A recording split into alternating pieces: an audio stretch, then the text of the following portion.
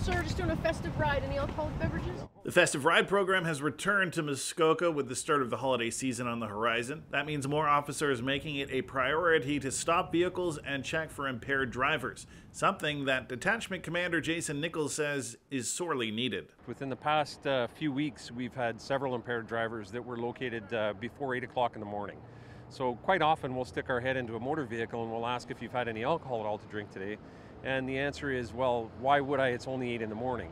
Um, it, it is happening in all hours of the day and night. Uh, so you will see us uh, in various locations throughout the day and at various times. So, what will officers be looking for exactly when they pull you over? Any type of impairment that would uh, render a person incapable uh, of driving a motor vehicle is what they're going to be searching for. They're, uh, you know, it's it's it's a light-hearted. It's meant to be a light-hearted interaction with the with the purpose of identifying people that are operating a motor vehicle under the influence of drugs or alcohol uh, but it's also very serious. And, uh, and I think that as long as the, the motoring public maintains a little bit of patience with us in times like this, you can see the traffic that's formulating here.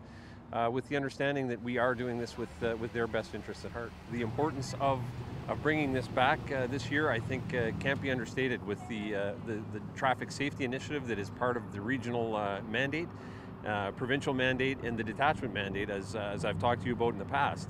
Um, it's great to see the officers out, and I hope the public uh, appreciates the fact that we're going to be here to try and ensure uh, public safety.